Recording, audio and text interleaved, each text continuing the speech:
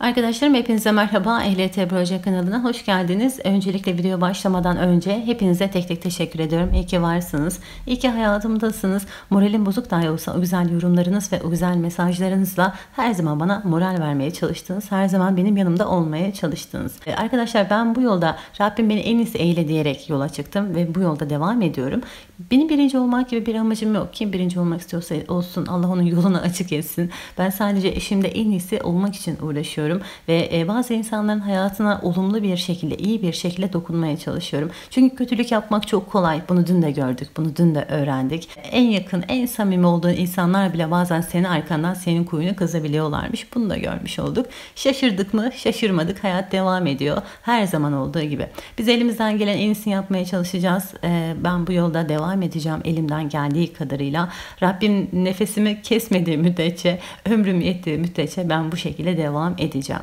Ve Türkiye'nin dört bir tarafından adını dahi hiç duymadığım, ilk defa duyduğum sürücü kursları tarafından artık kanalımız tavsiye ediliyor. Onlara da buradan çok çok teşekkür ediyorum. Başarımızı destek oldukları için, bizim yanımızda oldukları için kendilerine de çok çok teşekkür ediyorum. Arkadaşlarımızı canı gönülden tebrik ediyorum. Hadi hemen laf uzatmadan sorulara başlıyorum. Aşağıdakilerden hangisi aracın sağa veya sola dönüşünde etraftaki diğer araçları ikaz etmek amacıyla kullanılır? Geri vites lambaları, sinyal lambaları, park lambaları, sis lambaları. Doğru cevabımız B şıkkı sinyal lambaları olacak değil mi? Sağa döneceğimiz zaman sağ sinyal, sola döneceğimiz zaman sol sinyalimizi yakıyoruz ve diğer araç sürücülerini bu şekilde uyarmış oluyoruz. Karayollarında kullanılabilen motorlu, motorsuz ve özel amaçlı taşıtlar ile iş makineleri ve lastik tekerlekli traktörlerin genel adı nedir? Araç, ticari taşıt, arazi taşıtı, taşıt katarı. Doğru cevabımız A şıkkı araç olacaktır. Motorlu, motorsuz ve özel amaçlı taşıtlar ile diyor değil mi? İş makineleri ve traktörlerin genel adına biz ne diyoruz? Araç diyoruz arkadaşlar. Peki taşıt neydi? Taşıt değil mi? Bunu da soruyorlardı. Karayolunda insan, hayvan ve yük taşımaya yarayan araçlara da biz taşıt diyorduk. Bunun da tanımı sınav sorusuydu. Şimdi orada bir tane daha sınav sorusu var. Taşıt katarı. Hemen söyleyelim. Karayollarında bir birim olarak seyretmek üzere birbirine bağlanmış en çok iki romorktan oluşan oluşan taşıtlara biz taşıt katarı diyoruz.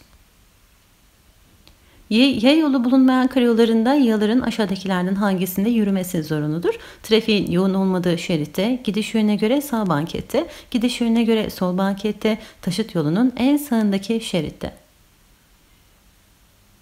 Doğru cevabımız C şık olacaktı değil mi? Gidiş yönüne göre sol bankete yürüyoruz. Hatta bunu görsel olarak sormuştum milletin ve onda nasıl sorduğunu sizlere söylemiştim. Bu yüzden geriye dönük soru videolarına mutlaka bakalım. Aşağıdakilerin hangisi bujilerin aşınması sonucunda meydana gelir? Motor çekişten düşmesi, endüksiyon bobinin yanması, jikle devresinin çalışmaması, marş motorunun çalışmaması. Doğru cevabımız A şıkkı olacaktır. Bujilerin aşınması sonucunda diyor değil mi? Hangisi meydana geliyor? Motor çekişten düşüyor arkadaşlar. Bir de bu soruyu şu şekilde sorabiliyorlar. Bujilerin ayarsız olması veya aşınması sonucu normal yanma olmaz. Tamam burada hemfikiriz. Peki ne olur? Motor çekişten düşer mi? Düşer. Yakıt sarfiyatı artar mı? Artar. Yani toparlarsak bujiler ayarsızsa ve aşındıysa normal yanma olmuyor. Motor çekişten düşüyor ve yakıt sarfiyatı artıyor. Bu söylediğim üçünü Üçünü unutmayın arkadaşlar çünkü üçü de ayrı bir sınav sorusu ayrı ayrı olarak. Peki buji kablolarından bir tanesi çıkar ise bizim motorumuz nasıl çalışacaktı? sarsıntılı çalışacaktı değil mi? Çünkü motor e, buji kablolarından bir tanesi çık, çıkıyorsa motor sarsıntılı çalışacaktı. Aşağıdakilerden hangisi 3. derece yanıkların bir göstergesidir? Derinin kuru ve ağrılı olması, kılcal damar uçları ve sinir uçların açık olması, yanık bölgesinde sinir harabiyetin olması, deri bütünlüğünün bozulmaması ve derinin gergin olması. Doğru cevabımız C şıkkı olacaktır. Sinir harabiyeti bizim anahtar kelimemizi görünce hemen 3. derece yanığı işaretliyorduk. Şimdi yanık neydi? Herhangi bir ısıya maruz kalma sonucu oluşan doku bozulmasıydı arkadaşlar. Yanığın ciddiyetini belirleyen faktörler vardı. Neydi bunlar? Bakın ciddiyetini belirliyor değil mi yanığın? Genişlik, derinlik, yaygınlık, kritik alanları yanması yani el, ayak, yüz, genital bölgeler değil mi? Buraların yanması gibi. Enfeksiyon riski, yaş, solunum yoluyla görülen zarar ve önceden var olan hastalıklar bunlar yanığın ciddiyetini belirleyen faktörlerdi. Birinci derece yanık deride kızarıklık ve ağrı oluşurdu. 48 saatte iyileşirdi. İkinci derece yanık deride içi su dolu kabarcıklar olurdu ve patlatılmazdı. Bakın bu söylediğim sınav sorusu yanık ile alakalı. İkinci derece yanık deride içi, içi su dolu kabarcıklar vardı dedik ve patlatılmaz dedik. İşte sınavda patlatılır diyor o içi su dolu kabarcıkların buna dikkat edin. Üçüncü derece yanık deride tüm tabaka etkileniyor. Yani kas, sinir, damar değil mi? Bunlar etkileniyor ve sinir harabiyeti meydana geliyor. Motora alınan hava içerisindeki toz ve kum zerrelerini hangisi temizler? Karbüratör, hava filtresi, emme subabı, emme manifoldu. Doğru cevabımız B şıkkı olacaktır. Neyin içerisinde diyor? Hava diyor değil mi? Bakın havanın içerisinde toz ve kum zerrelerini bir şeyin temizlemesi lazım. E ne olacak? Bu hava ile alakalıysa hava filtresi olacak ve hava filtresi temizleyecek. Bir de orada karbüratör var. Karbüratör. karbüratör yani aklınıza bir karışım gelsin. İşten yanmalı motorlarda. Motorun silindirlerinde yanacak benzin hava karışımını sağlayan aygıt aşağıdakilerden hangisidir derdi karbüratörü işaretlerdik. 7'deyiz. Şekle göre kontrolsüz kavşakta karşılaşan araçlardan hangisi ilk geçiş hakkını kullanmalıdır? Bir nol araç, iki nol araç, hızı az olan araç, hızı fazla olan araç. Doğru cevabımız B şıkkı olacaktır. 2 nolu araç ilk geçiş hakkını kullanmalı. Bakın 2 nolu araç sağ tarafa dönmek istiyor. 1 nolu araç sol tarafa dönmek istiyor. Hani e, mantı mantığı burada. E, biz ne diyoruz o zaman? Sağa dönecek olan her zaman daha önceliklidir diyoruz arkadaşlar. Ülkemizde ilk yardım gerektiren her durumda 112 acil yardım servisinin aranması ve gerekli bilgilerin doğru olarak verilmesi bir insanlık görevidir. Buna göre 112 acil yardım servisinin aranması sırasında dikkat edilecek hususlarla ilgili olarak hangisi doğrudur? Olayın tanımını yapmaktan kaçınmak, kimin hangi numaradan aradığını bildirmekten kaçınmak, sakin olmak ya da sakin olan bir kişinin aramasını sağlamak, herhangi bir ilk yardım uygulaması yapıldıysa bu durumu sağlık personelinden gizlemek. Doğru cevabımız C şıkkı olacaktır. Sakin olmak ya da sakin olan bir kişinin aramasını sağlamak doğru olacaktır. Peki tıbbi yardım haberleşmesinde iletileceğimiz mesaj nasıl olmalıydı bizim? Kısa, öz ve anlaşılır olmalıydı arkadaşlar. Ve şunu da söyleyelim. E, sürücüler neden iki yardım bilgi ve becerisine sahip olmalıydı peki? Yani bizler neden iki yardım bilgi ve becerisine sahip olmalıydık? Kazalarda hayat kurtarıcı o ilk müdahaleleri yapabilmek için e, ilk yardım bilgi ve becerisine sahip olmalıydık. Çok sayıda yaralının olduğu kazalarda en son taşınması gereken kazazede hangisidir? Açık karın yarası olan, ayağı kemiği kırık olan, bilinci yerinde olmayan, solunum yolu zehirlenmesi olan. Doğru cevabımız B şık olacaktı. Bakın 4 tane kazasede var. Bir tanesinde açık karın yarası var. Diğerinin sadece ayağında bir kırık var.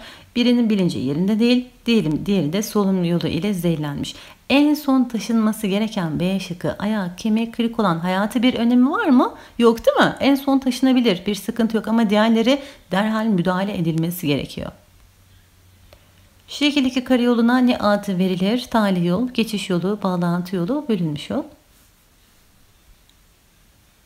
Doğru cevabımız D şıkkı bölünmüş yol olacaktır. Orada dikkat etmeniz gereken yan yana çizilmiş iki tane devamlı yol çizgisi var değil mi? Bu, bu çizgiler yolun bölünmüş yol durumuna getiriyordu ve bu çizgi boyunca da karşı şeride geçilemiyordu. Ha, tanım olarak sorduklarında hatırlıyoruz. Bir yöndeki trafiğe ait taşıt yolunun bir ayırıcı ile bakın o an e, şu an orada gördüğünüz iki çizgi aslında bir ayırıcıdır bölünmüş yoldan bahsediyoruz. Bir yöndeki trafiğe ait taşıt yolunun bir ayırıcı ile diğer taşıt yolundan ayrılmasına biz bölünmüş yol diyoruz. Orada tali yol var. Bir yerin tali yol olduğunu iki tane levhadan anlıyorduk. Yol var levhası varsa, dur levhası varsa orası tali yoldu. Geçiş yolu denilince aklınıza mülk kelimesi gelsin. Araçların bir mülke girip çıkması için yapılmış olan yolun karayoluna bağlanan ve karayolu sınır çizgisi içinde kalan kısmına geçiş yolu diyoruz. Bağlantı yolu var. Bir kavşak yakınında karayolu taşıt yollarının birbirine bağlanmasını sağlayan tek yönlü trafiğe ayrılmış karayolu kısmına bağlantı yolu diyoruz. Bağlantı yolunda geri gitmek, durmak, duraklamak yasaktı. Şu anda tam 5 tane sınav sorusunu öğrenmiş oldunuz. Aksine bir işaret bulunmadıkça yerleşim yeri içindeki karayollarında lastik tekerlekli traktörler için azami hız saatte kaç kilometredir? 10, 20, 30, 40. Doğru cevabımız B şıkkı 20 olacaktır. Neredeyiz biz? Yerleşim yeri içindeyiz değil mi? Neyden bahsediyoruz? Traktörden. Yerleşim yeri içerisindeki hızı 20, yerleşim yeri dışında şehirler arası çift yönlü kırılımda 30, bölünmüş yolda 40. Otoyola traktör giremiyor. Buna dikkat edelim.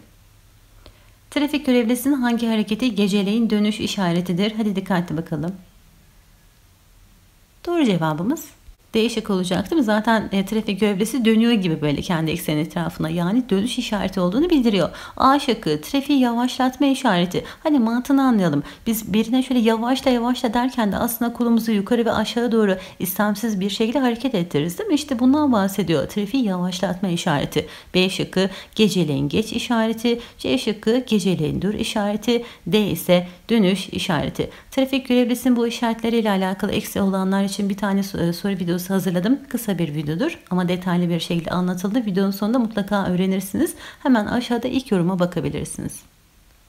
Hararet yapmış bir motorda radyatör suyu çok sıcak değilse hangisinin arızal olduğu düşünülür? Fan müşerinin, termostatın, fan sigortasının, klima kompresörünün. Doğru cevabımız B şıkkı olacaktır arkadaşlar. Bakın aracımız hararet yapmış değil mi? Yani su çok sıcak olması gerekiyor. Ama çok sıcak değilse bakın nerede bir arıza olacak? Termostatta bir arıza olacaktı. İşte bu yüzden çok sıcak değil. Çünkü araç hararet yaptığı için onun sıcak olması gerekiyor. Ee, bir diğer sınav sorusu. Fan motoru çalıştığı halde bakın ne çalışıyor? Fan motoru çalışıyor değil mi? Fan motoru çalıştığı halde motor suyu soğumuyorsa soğuması gerekiyor ama soğumuyorsa o zaman nerede bir sıkıntı var? Radyatör petekleri aklımıza gelecek. Radyatör petekleri tıkanmıştır diyoruz. Toparlarsak fan motoru çalıştığı çalıştığı halde motor suyu soğumuyorsa radyatör petekleri de tıkanmış diyoruz. Bu da bir diğer sınav sorusu. Trafik görevlisine ışıkla trafik işaretlerini ve diğer işaretlere uymayan sürücülere hangisi uygulanır? Hafif hapis cezası, para cezası ve ceza puanı, aracına el koyma, trafikten men etme.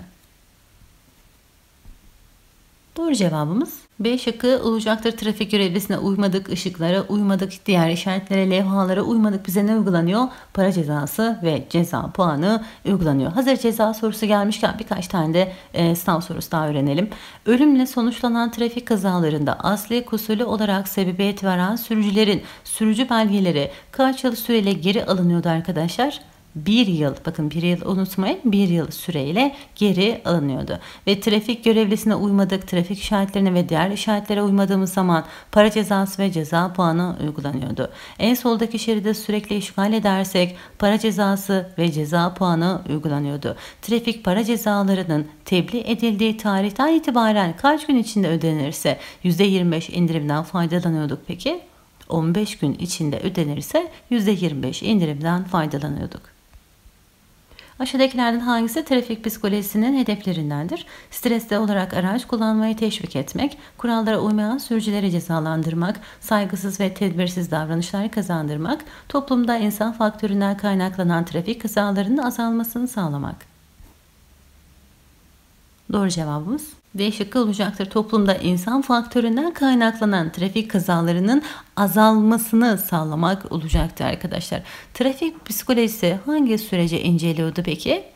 Yaya ve sürücülerin trafikteki davranışlarının altında yatan psikolojik süreci inceliyordu. Trafik psikolojisi bunu da unutmayalım. Ve insan faktörünün kazalarda oynadığı rolü belirlemek ve araştırma bulgularından yola çıkarak kazaları engelleyebilecek önlemler üretmek trafik psikolojisinin de alanına giriyor. Yani trafik psikolojisi, psikolojisi ile alakalı e, alanı, hedefi ve süreci e, mutlaka öğrenelim. Ki söyledim zaten. Aşağıdakilerin hangisinde balansızlık olması düz yolda belli bir hızdan sonra araçta titreşimlere neden olabilir? Lastiklerde, pistonlarda, alternatörde, eksantrik milinde. Doğru cevabımız A şıkkı olacaktır. Lastiklerde titreşimlere neden oluyordu. Daha doğrusu bir balanssızlık ile alakalı bir sınav sorusu gördüğünüz zaman hemen bir titreşim aklınıza gelsin arkadaşlar. Şu anki olduğu gibi lastik değişiminden sonra balans ayarı yapılmazsa belirli bir hızdan sonra direksiyonun titremesine neden oluyordu. Ve yine şu şekilde de soruyorlar. Ön tekerleklerde balanssızlık varsa direksiyonda titreşimler hissediliyor. Bunu da unutmayalım arkadaşlar. Şimdi balans diyoruz ya ne bu balans? Lastik ve e, jantların dengeli bir şekilde dönmesini sağlamak amacıyla tekerleklere yaptığımız bir ayardı. Biz buna balans ayarı diyorduk. Şimdi bir önceki soru çözümünde de bir arkadaşımız dedi hocam lastik soruları çıktı diye. Arkadaşlar ben sizlere söylüyorum zaten. Hemen aşağıda ilk yorumda lastik soruları linki var. Sadece lastik sorularıyla alakalı bir tane soru videosu hazırladım. Sınavdan önce mutlaka bakın diyorum ha size gelir gelmez arkadaşınıza gelir artık orasını bilemiyorum ama lastik soruları var. Ee, yani sınavdan önce bakmanızda fayda var.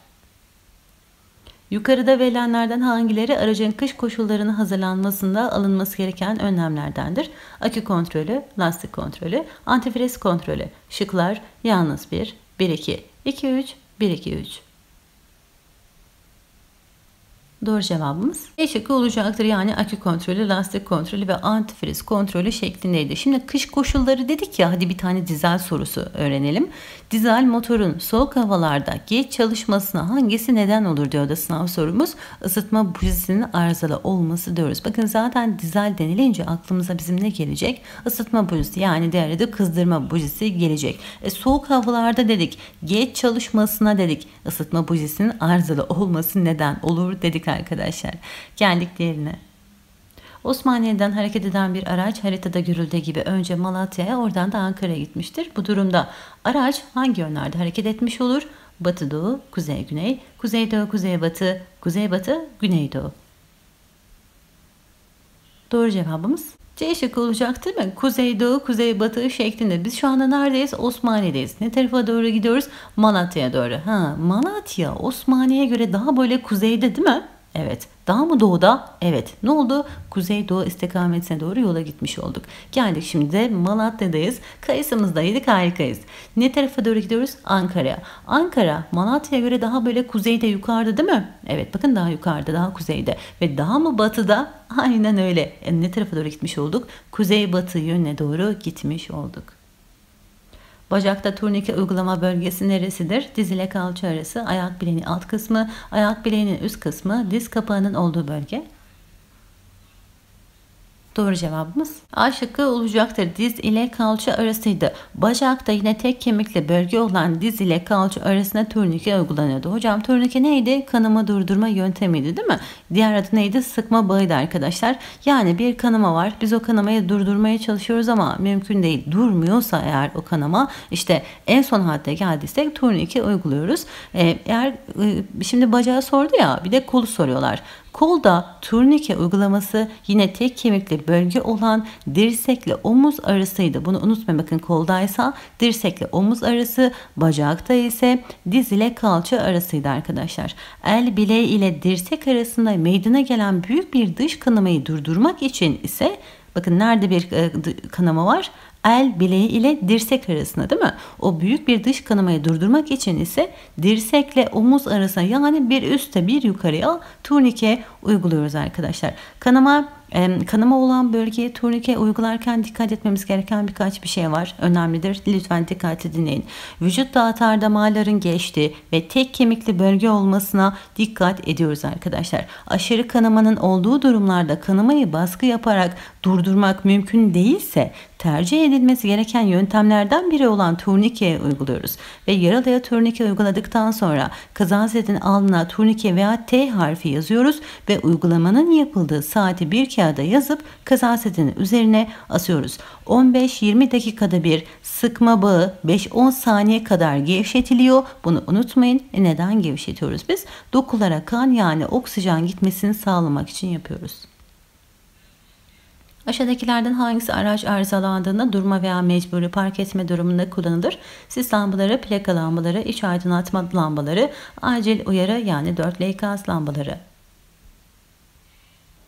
Doğru cevabımız değişik olacak değil mi? Aracım arızalandı. Durma veya mecburi park etme durumdaysam o zaman dörtleri yakarım. Çekilen aracın freni bozuksa çeken ve çekilen araçlar arasındaki bağlantı uzunluğu en fazla kaç metre olmalıdır? 1, 2, 3, 4.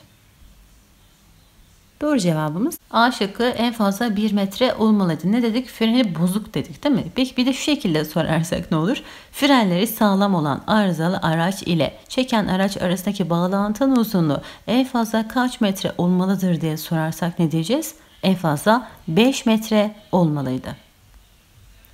Aşağıdakilerden hangisi bebeklere yapılan suni solunum uygulamasında dikkat edileceği kurallardandır? Bebeğin yumuşak bir zemin üzerine sırt üstü yatırılması, hava yolu tıkanıklığına neden olan yabancı cisim varsa bebeğin yutmasının sağlanması, bebeğin solunum yapıp yapmadığının bak dinle hisset yöntemiyle bir dakika süreyle kontrol edilmesi, solunum yoksa ağzın bebeğin ağız ve burnu içine alacak şekilde yerleştirilip ağız dolusu nefes verilmesi. Doğru cevabımız D şıkkı olacaktır. Solunum yoksa ağzın bebeğin ağız ve burnunu içine alacak şekilde yerleştirilip ağız dolusu nefes verilmesi doğru olacaktır. Şimdi yetişkinlerde biz bilinç durumu kontrol edilirken iyi misiniz beni duyabiliyor musunuz diyorduk ya işte bebeklerde biz bunu yapamıyoruz arkadaşlar. Yani bebek iyi misin beni duyabiliyor musun diye soramıyoruz. Bebeğin bilinç durumunu kontrol ederken vücudun hangi bölümüne yavaşça vuruyorduk biz? Ayak tabanı değil mi? Ayak tabanına vuruyoruz. Hani bu şekilde bilinci var mı yok mu onu da anlamaya çalışıyoruz. Temiz kireçsiz su ile donmayı ve korosyonu önleyici antifriz karışımından oluşan sıvıya ne ad verilir? Motor yağı, fren hidroliği, akü elektroliti, motor soğutma suyu.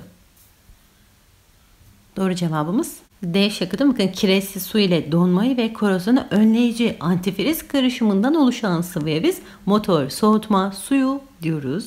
24. Aracın gösterge panelinde şekildeki uyarı lambasının yanıyor olması neyi bildirir? El frenin çekili olduğunu, yağ basıncının çok düştüğünü, motor hararetinin çok yükseldiğini, şarj sisteminde bir arıza olduğunu. Doğru cevabımız A şıkkı el freni çekili olduğunu bize bildiriyor. Zaten görsellerle biz bunu anlıyoruz. Ve yine araç göstergelerine hiç bakmadıysanız herhangi bir bilginiz yoksa sınavda en çok çıkanları çözeyim hocam? Video uzun olmasın hem de böyle açıklamalı olsun diyorsanız eğer yine onun için de ilk yoruma e, bakacaksınız. Onunla ile alakalı da bir soru videosu hazırladım. Yeşil ışıktan sonra yanan sarı ışıkta sürücü ne yapmalıdır? Kalkışa hazırlanmalıdır. Yavaşlayıp durmalıdır. Öndeki aracın sürücüsüne ikaz etmelidir. Durup yolu kontrol ettikten sonra geçmelidir. Doğru cevabımız. Şıkkı olacaktır. Hemen bizim arka plandaki ışıklara bakalım. Yeşil ışıktan sonra sarı ışık yanıyor. E sarıdan sonra da kırmızı yanacaktır. Yani yavaşlayıp durmamız gerekiyor. Verilenlerden hangileri yaralı taşımalarında uyulması gereken kurallardandır? Yaralıya yakın mesafede çalışılması, daha uzun ve kuvvetli kas gruplarının kullanılması, iki yardımcının kendi sağlığını riske atması. Şıklar yalnız 1, 1, 2, 2, 3, 1, 2, 3. Doğru cevabımız B şıkkı 1 ve 2 olacaktı. E, 3 eledik çünkü iki yardımcının kendi sağlığını riske atması diyor. İki yardımcı kendi sağlığını riske atmayacak. Aşağıdaki parçalardan hangisi arızalandığında motor yağında su, soğutma suyunda yağ olduğu gözlenir? Piston, kan mili, krank mili, sindir kapak contası. Doğru cevabımız e şıkkı silindir kapak contası olacaktır. Peki motor parçalarından hangisinin işlevini kaybetmesi durumunda motorun içine su girer, su sızar derse o zaman ne diyeceğiz? Üst kapak contası diyeceğiz arkadaşlar. Aksine bir durum yoksa yerleşim yeri dışındaki karyolarında geceleri hangi ışıkların yakılması zorunludur? Uzağı gösteren ışıkların, acil uyarı ışıklarının, park ışıklarının, sis ışıklarının.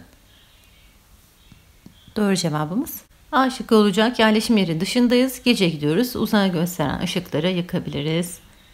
Şu anda da gö olduğu gibi arkadaşlar. Aksine bir durum yoksa yerleşim yeri dışındaki karayollarında geceleri hangi ışıkların yakılması zorunludur dedi. Uzağa gösteren ışıkların yakılması zorunludur dedik. Egzoz gazı emisyon ölçümü trafikte seyreden motorlu kara taşıtlarından kaynaklanan egzoz gazı emisyonlarının kontrolüne dair hazırlanan yönetmelik gereğince yapılır. Trafikte çevrilen bir aracın geçerli bir egzoz, mu, egzoz emisyon ölçümü yoksa bunun ceza miktarının çok yüksek olduğu görülmektedir. Bunun nedeni aşağıdakilerden hangisi olabilir? Aracın kaza yapma riskinin yüksek olması, araç sürücüsünün ve araç içerisindekilerin zehirlenme ihtimallerin olması, araçta yangın riskinin oluşması, çevre kirliliğini engellemek. Doğru cevabımız D şıkkı olacaktır. Evet e, aracın egzoz emisyon ölçümü olması gerekiyor. Eğer yoksa ceza miktarı çok yüksek olabiliyor. İşte bunun nedeni olarak da çevre kirliliğini engellemeye gidiyoruz. 30'dayız. Aşağıdakilerden hangisi iki yardımcıda bulunması gereken özelliklerdendir? Telaşlı ve tedirgin olması, iletişim becerilerinin zayıf olması, önce çevrenin güvenliğini sağlaması, insan vücudu ile ilgili temel bilgilere sahip olması. Doğru cevabımız D şıkkı olacaktı ve insan vücudu ile ilgili temel bilgilere sahip olacaktı. Önce kendi can güvenliğini sağlayacak, pratik olacak, sakin olacak, kendine güvenecek ve tedbirli olacaktı. Ee, kalp masajı yapılacaksa eğer hemen onu da yapabilecekti. Yani o kabiliyette olacaktı arkadaşlar. Kaza sonrası olay yerini değerlendirmenin amacı hangisidir? Sağlık personeli niteliğinin kazanılması, kazazedelerin özel yaşamlarıyla ilgilenilmesi, tekrar kaza olma riskinin ortadan kaldırılması, kaza yapmış araçların cins ve modelinin tespit edilmesi. Doğru cevabımız C şık olacaktı ve kaza sonrası biz olay yerini neden değerlendiriyoruz? Tekrar kaza olmasın diye işte o riski azaltmaya çalışıyoruz, ortadan kaldırmaya çalışıyoruz. Yaralının araçtan çıkarılması sırasında yapılan yanlışlıklar sonucu omuriliğin zedelenmesi durumunda ne olabilir? Vücudun bir bölümünde faç, acıkma hissi, hazımsızlık, iç kanama. Doğru cevabımız A şıkkı olacaktır. Öncelikle biz neyi biliyoruz? Araçtan dışarı çıkarmada aklımıza rentek manevrası geliyordu. Onu biliyoruz değil mi? Bağış boyun eksenin korunmasına dikkat ediyoruz ve omuriliğe zarar vermeden araçtan dışarı çekiyoruz, çıkartıyoruz.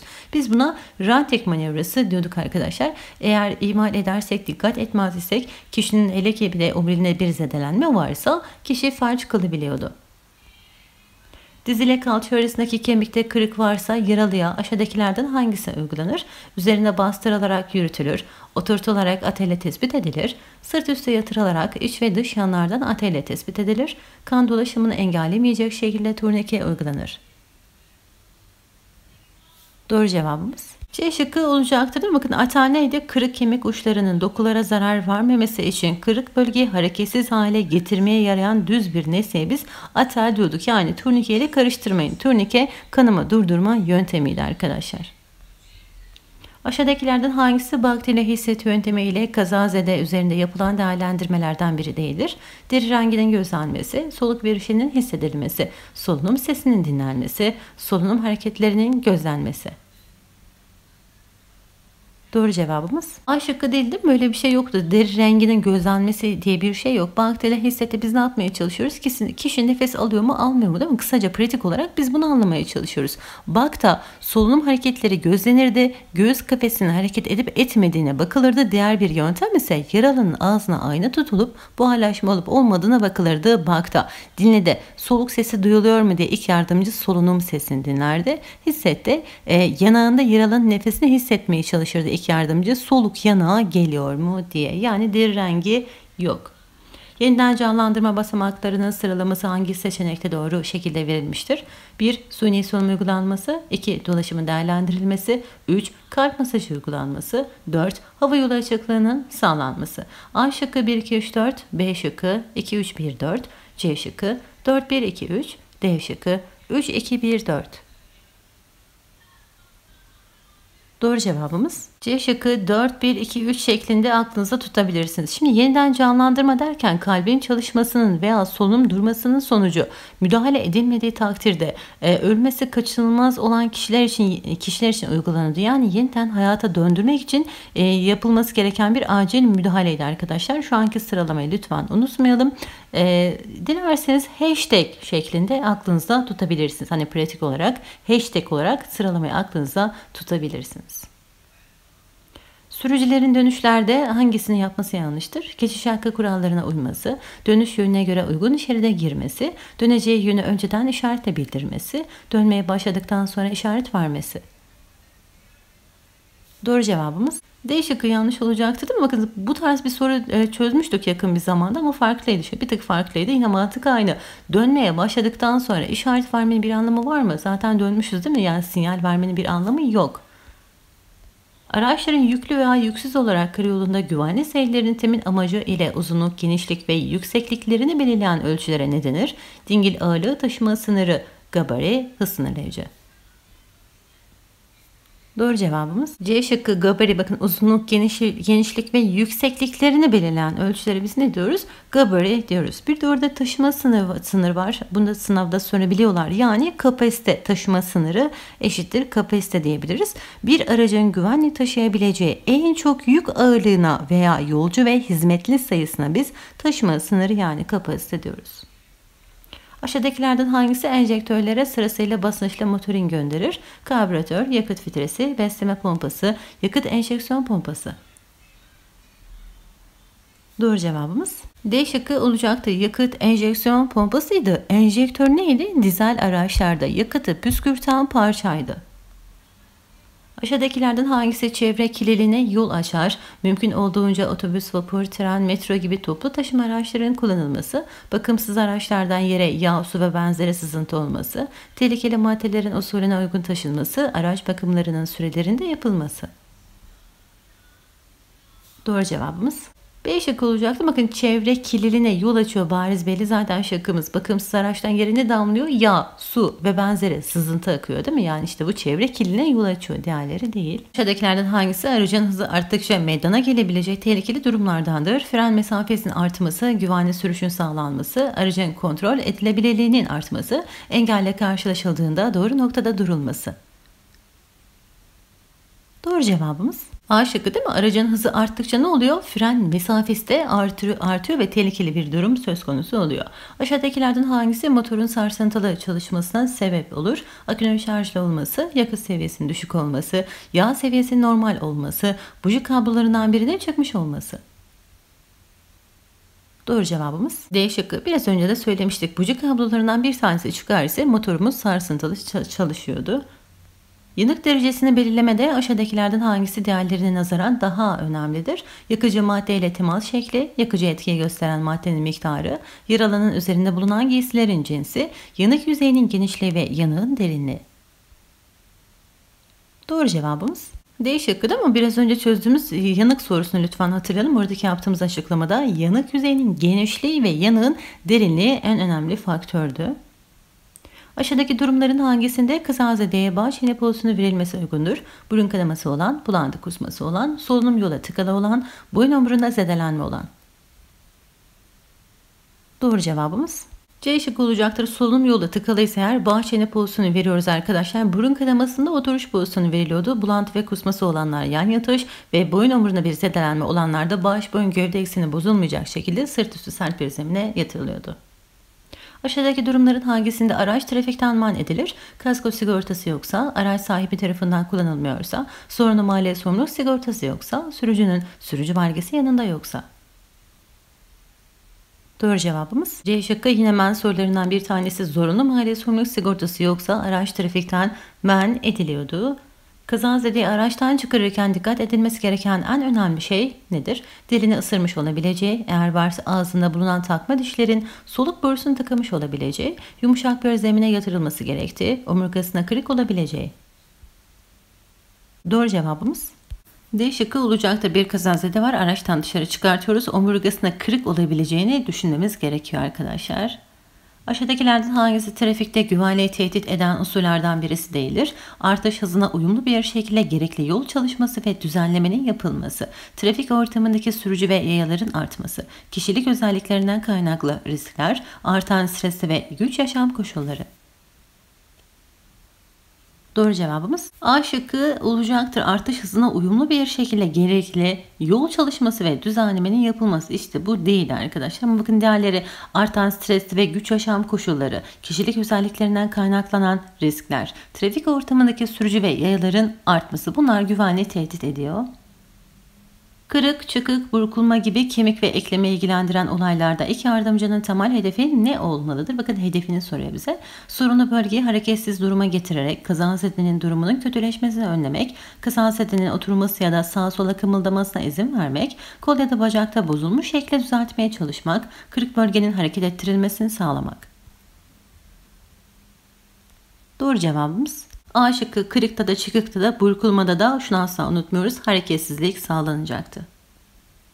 Araçlarda emniyet kemeri kullanılmasının yararı hangisidir? Otomobilin daha iyi sürmesini sağlar, kazalarda ölüm ve yaralanma riskinin azalmasını sağlar, sürücünün araç içinde daha rahat hareket etmesini sağlar, araç kullanırken sürücünün direksiyon hakimiyetini sağlar.